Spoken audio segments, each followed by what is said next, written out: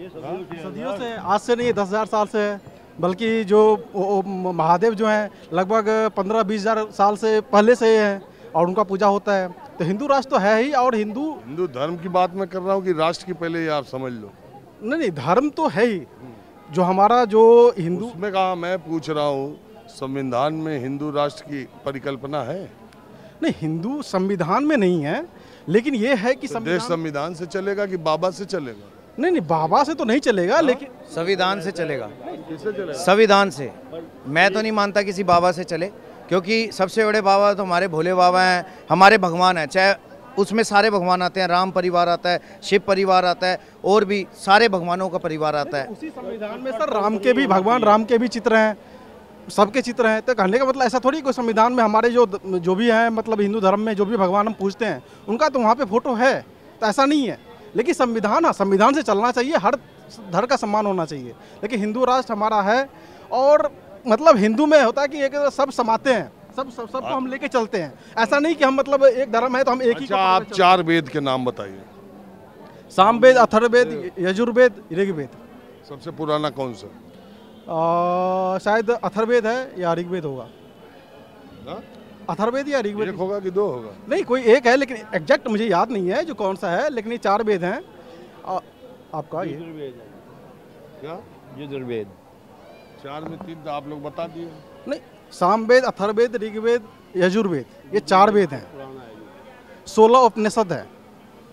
अब उपनिषद का उतना नाम तो याद नहीं है छब्बीस नक्षत्र हैं तो नौ ग्रह हैं तो इतने सब कुछ है लेकिन इतना तो याद नहीं है लेकिन कहने का मतलब ऐसा हम ऐसा कुछ नहीं है कि हमारे धर्म के बारे में जानते हैं ऐसा नहीं कि नहीं जानते हैं हाँ। हम आपका जनरल नॉलेज नहीं टेस्ट कर रहे क्योंकि आप इतनी तो मेरा ये आपसे सवाल है कि इस देश में हिंदू और हिंदुत्व की बात करने वाली राष्ट्र में केंद्र में आठ साल सरकार है कई राज्यों में सरकार है। फिर हिंदुत्व कैसे इन्हीं इन्हीं आठ सालों में आजकल बहुत खतरे में आ गया? नहीं खतरे में नहीं है। पहले क्या था कि हिंदू पर जो अत्याचार होते थे ना वो बोलते नहीं थे। अपने आप सह लेते थे देन कुछ सरकारें जी तो सपोर्ट नहीं कर रही थी। लेकिन अब क्या है कि हम बोलते हैं कि तुम मेरे साथ गलत क्यों कर रहे हो? जैसे मान लो कोई जुलूस निकाले गौ वहाँ पे रक्षक के गौ रक्षक के नाम पे लोगों को मार डालना। नहीं नहीं ये तो गलत है। देखो गौ रक्षक सुनो सांस बीजेपी का सांसद होके कहना कि चाकू की तलवार तेज रखो, अपने घर में रखो, जनसंख्या के बारे में बयान देना, ये हिंदू धर्म या हिंदू धर्म के मान्यताओं वाले लोगों के लिए सूट करता है? देखिए, हिंदू धर्म में देखिए क्या है सर, यहाँ पे जो है ना, वेद को भी पूजते हैं, शस्त्र को भी पूजते हैं। हम सांप को भी दूध पिलाते हैं और भगवान अभी महाशिवरात्रि, आज भी हम दूध चढ़ा के आए हैं। तो कहने का मतलब हर चीज़ को हम सम्मान देते हैं। कण कण में भगवान है। हम सबको लेके चलते हैं। लेकिन कोई ऐसा धर्म होता है जो एक ही धर्म मतलब अपने को लेके चलेंगे किसी और को छोड़ देंगे। तो हमारा हिंदू धर्म में यही है हमें हमें यही सिखाता है कि सबको लेके चलना है सबको साथ लेके चलना है और यहाँ पे कोई ईर्ष्या द्वेष नहीं होता है। बस ये है कि पहले यह था कि हम चुप रहते थे अब यह है कि हम बोल रहे हैं। फ़र्क यही है। सर हमारा बोल है बोलना यही है कट्टरपंथ नहीं होना चाहिए बस। किसी भी धर्म में। किसी भी विधान में नहीं होना चाहिए किसी भी धर्म में नहीं होना चाहिए किसी उसमें नहीं होना चाहिए। जो ये मतलब अपना आपको मुस्लिम मुस्लिम ही कहते हैं वो कभी हिंदू से मिलके नहीं चलते। हिंदू? हिंदू सबसे मिलके चलता है गले लग के चलता है। बोलो कहाँ हम मंदिर में भी जाते हैं गुरुद्वारे में भी जाते हैं मस्जिद में भी चले जाते हैं हमारे कोई दिक्कत नहीं है। उनको दिक्कत क्यों है? और आपका हिंदू राष्ट्र के बारे में क्या ख्याल है? पहले तो आज श्री गणेश जी की बहुत बहुत सबको चरण स्पर्श। मैं गणेश जी अपनी गणेश जी के लिए क्योंकि भगवान शिव ने एक ही बात कही है मेरी पूजा भी बाद में करोगे पहले मेरे पुत्र की करो अगर कल्याण चाहते हो तो। तो आज महाशिवरात्रि है सभी देश के हर प्रतिनिधि को जो इस देश को शामिल है हमारी किसी भी क्रिया में उनको बहुत बहुत बधाई। अब आप प्रश्न कीजिए। हाँ एक चीज़ और सर। आपको मैं टीवी में देखता हूँ उस पर्सनैलिटी और इस पर्सनैलिटी में। ज़मीन आसमान का अंतर है। भगवान शिव आपको इतनी दीर्घ आयु दें कि आप इस पब्लिक के लिए जो यहाँ पे है और पूरे संसार में उनको आप अच्छी अच्छी बातों से अवगत कराते हैं। अरे आपका बहुत शुक्रिया। बहुत बहुत धन्यवाद आपका।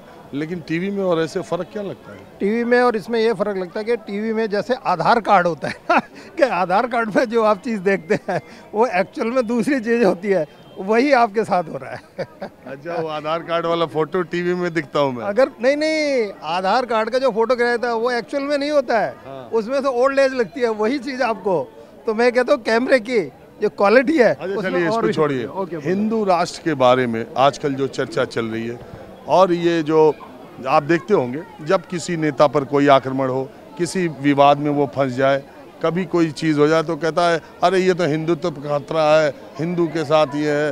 एक बाबा पे ये आरोप लगा कि वो कुछ माइंड रीडिंग करते हैं, या वो तो उन्होंने हिंदू राष्ट्र के लिए यज्ञ शुरू कर दिया। अब एकाएक से देश में हिंदू राष्ट्र की बहस शुरू हो गई। क्या आप मानते हैं कि इस बहस का ये मूल मुद्दे से भटकाने के लिए सब बात थोड़े इतिहास के पीछे जाना चाहता हूँ। चार पन्ने पलटूँगा। पहले तो पूरे इंटरनेशनल लेवल पर उनको ये सोचना चाहिए कि कभी भी एक कौम चाहे हिंदू मुस्लिम सिख ईसाई कभी भी अपने देश को आज़ाद नहीं करा सकते। इसमें सबका योगदान होता है। और जब सबका योगदान होता है तो एक हिंदुत्व को लेकर आप क्यों चल रहे हैं? इसके लिए हमारी देश की कोई भी सरकार हो कोई पर्टिकुलर किसी की बात मैं नहीं कर रहा हूँ। कोई भी सरकार हो हर का प्रतिनिधित्व बनता है कि देश में जितने भी हिंदू मुस्लिम सिख ईसाई या और भी इंटरनेशनल लेवल पे हैं उन सबका योगदान होना चाहिए किसी एक के लिए। आदमी को सामने आके उस चीज़ को नहीं बोलना चाहिए। इससे हमारे देश की छवि खराब हो रही है अंतर्राष्ट्रीय स्तर पर। ऐसा आप हम्म, ऐसा मैं नहीं मानता जनता मानती है। नहीं साहब जनता ऐसा नहीं एट्टी परसेंट मानती है एट्टी परसेंट ट्वेंटी परसेंट को आप थोड़ा छोड़ दीजिएगा। जैसे बीजेपी को ट्वेंटी परसेंट लोग नहीं मानते एट्टी परसेंट मानते हैं वो फैक्ट है। एक बुज़ुर्ग आदमी जिसने अपने परिवार को छोड़ दिया आप क्या समझते हैं? उसकी इच्छा नहीं थी क्या? उस चीज़ में जाने वाले लेकिन वो देश के लिए कर रहा है आज। इसीलिए अपने परिवार की चिंता नहीं है। बोले मेरा देश यही परिवार है और अंतर्राष्ट्रीय स्तर पर। भगवान उनको भी कम से कम सौ वर्ष की आयु दे। आप ये कह रहे हैं कि ये हिंदू हिंदू का राग जो है वो देश की छवि को खराब कर रहा है। अगर हाँ बिल्कुल इसमें हंड्रेड परसेंट ये बात है। मैं इसकी श्योरिटी देता हूँ आपको। अगर ये चीज़ चलती रहेगी तो हमारे देश की बदनामी होगी अंतर्राष्ट्रीय स्तर पर। तो आपको लगता है कि कई बार हिंदुत्व का खोली ये लोग पहन लेते हैं? अपने को बचने नहीं, बचाने के लिए। आपका प्रश्न थोड़ा सा चेंज किया आपने। आप मेरे से कुछ और उगलवाने के चक्कर में मैं फंसूँगा नहीं आपके नहीं, साथ। आप जो बोलना ना, ना ना ना। मैं यही बोल रहा हूँ। जिस प्रकार से हमारे देश को आज़ाद करने में जैसे इंग्लैंड वाले कहते थे हमारा सूरज नहीं छुपता।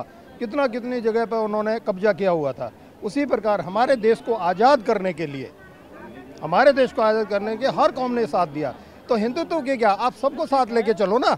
एक कभी भी एक पिलर पे कोई बिल्डिंग नहीं खड़ी हो सकती। उसके लिए आपको चार पिलर की ज़रूरत पड़ती है। और चार पिलर है हिंदू मुस्लिम सिख ईसाई। भगवान आपको सौ वर्ष की आयु पुनः दे। और आप हमेशा मिलते रहे। आपका आप बहुत शुक्रिया।